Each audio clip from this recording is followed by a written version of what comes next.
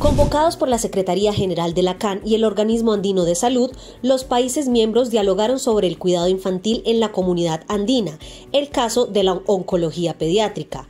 En el evento que contó con la participación del sector público y privado, el jefe del organismo dijo que se requiere trabajar conjunta e inmediatamente en la búsqueda de soluciones frente a este problema social de primer orden.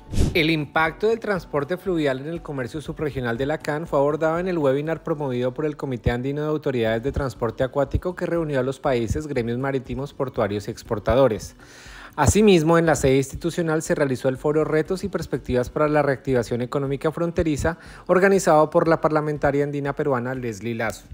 El Comité de Autoridades Aeronáuticas revisa la armonización de la normativa preventiva y de control de pasajeros disruptivos. En tanto, el Comité Andino de Minería Ilegal recibió el primer informe del Observatorio Andino de Mercurio enero-junio 2021.